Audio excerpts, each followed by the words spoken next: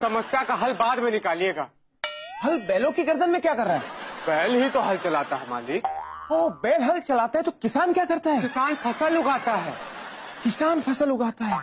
ओ, भाइयों हम आपसे वायदा करते हैं। अगर अगले साल हमारी सरकार आई तो किसी भी किसान को फ़सल उगाने की ज़रूरत ही नहीं पड़ेगी। अरे मालिक किसान फ़सल नहीं उगाएगा तो खाएगा क्या? खाना?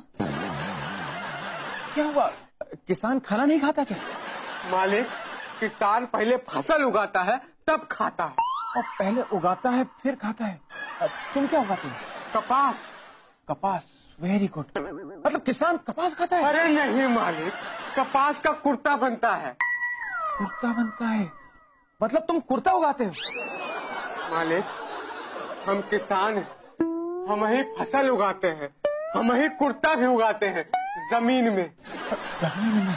कितनी ज़मीन है तुम्हारे पास? छोटा छोटा टुकड़ा में कई रहा है? एक टुकड़ा कितना बड़ा होता है? एक दूर। और ये एक दो कितना बड़ा होता है? जितना बड़ा आपका बाथरूम है। हाँ, तो जितने में हम जाते हैं उतने में तुम उगाते हो। क्या हुआ तुम जाते नहीं हो क्या? जाते हैं मालिक। सवेरे जाते हैं शाम को जाते हैं कई बार आते जाते ही रहते हैं मालिक। मालिक हमारे लिए पैदावार बड़ी समस्या है। पैदावार समस्या है? कितने बच्चे हैं तुम्हारे? रुपये। छह ठो बच्चे और पैदावार समस्या कहाँ रह गई? अरे हम ज़मीन से पैदावार की बात कर रहे हैं। अरे ज़मीन से बच्चे पैदा करोगे तो फ़सल कहाँ उगाओगे मालिक! मालिक ज़मीन से जुड़ी कौनो बात जानते हैं आप? हाँ हाँ हमारे बहुत सारे रिश्तेदार ज़मीन से जुड़े हुए हैं। मालिक उसको ज़मीन से जुड़ना नहीं मट्टी पलीद होना कहते हैं। हम किसानों के लिए तो बहुत बड़ी समस्या है। क्या समस्या? आप समस्या है।